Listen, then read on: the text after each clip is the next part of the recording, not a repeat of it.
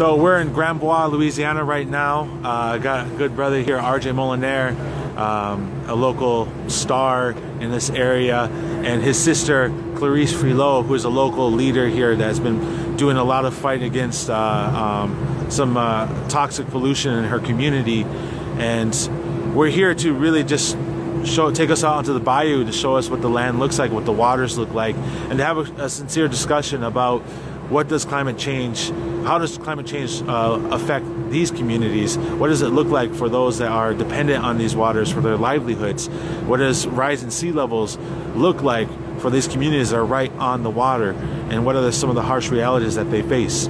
So keep following along. Um, check out, follow along on Facebook, Indigenous Environmental Network. You can check us out on uh, Instagram at Indigenous Rising.